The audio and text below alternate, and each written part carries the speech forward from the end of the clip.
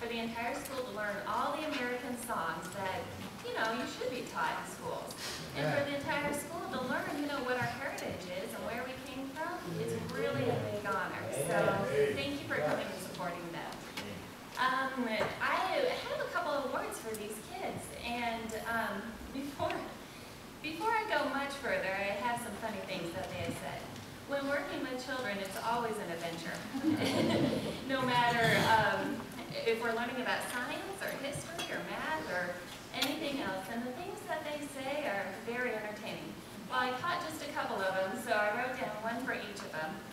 And um, just wanted to say, let's see here. Uh, we'll start out with Dawson. he was very funny this year. And he told me one day as we were having snacks, and they were the little Handi-Snacks, you know, with the cheese in them, and he says, Mrs. Weber, Handi-Snacks are healthy because they have branches in them. I said, yes, they are.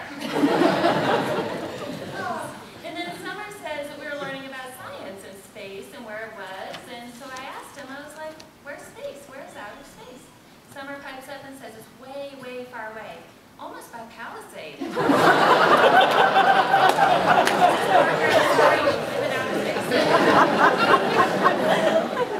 and then we are also learning about like the different countries and like, you know, England and Israel and Africa and all this. Where we were learning about um, Israel and the Sea of Galilee and what happened in the Bible and all this. And so we were reviewing and I asked him, what sea did we learn about? And Kirsten pipes up and says, the Sea of Calories.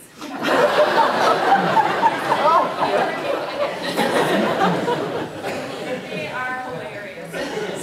and um, they're really, each one of these kids is very talented at different things, and they've all worked very hard. They learned how to read this year, how to write, how to write in cursive, how to, you know, spell, how to do a lot of things that, you know, we as adults, we struggle with sometimes.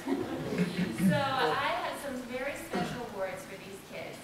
Now my first award is an Eager, Re Eager Reader Award. This award goes to a very special young lady who caught on to reading, who, uh, you know, I hardly had to teach, and she was just off and running with it. And she reads above her grade level, and she does a great job. And so for this award, I'd like to invite Summer Hasselhoff.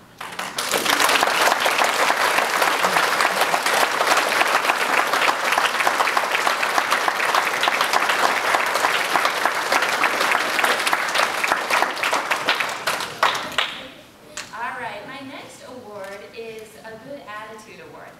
Now, some, you know, we all have good days, we all have bad days. and um, this young gentleman always had, even though it may have been a bad day or it may have been a tough day, he always had a soft heart to where you could talk to him and to where you could say, you know, we need to do this or we need to do that. And he never got cross, he never really got too grumpy, and if he did, it was for a very short time. And so, and it just, as a teacher, it was very helpful to see, you know, have somebody like that in your class who, who was willing to cooperate, willing to learn, and willing to do okay. So I just want to invite Dawson Baker up.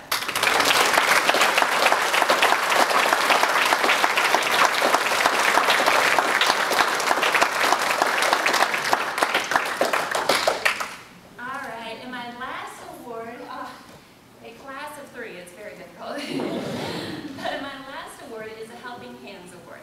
And this little girl throughout the year was very helpful, not only to me, but also her students. And she thought ahead, she looked, you know, for things that needed to be done, which is very helpful for a teacher, no matter if you have a class size of six or, you know, 26. It's very helpful to have somebody who's willing and eager to, you know, happy to help you no matter where it is. So for that one, I